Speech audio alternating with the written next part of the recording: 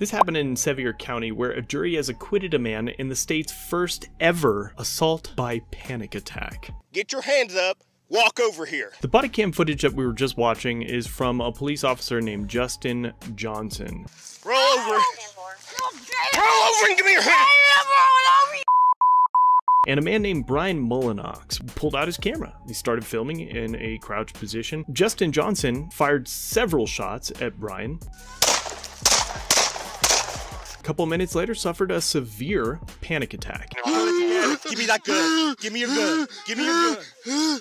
Give me your gun, sir. Give me your gun. I'm with the ambulance service. Give me your gun. Luckily, none of the seven shots made contact with Brian Mullinox, so he is okay. However, him and the woman both spent 42 days in jail on felony aggravated assault charges filed against them by the SCS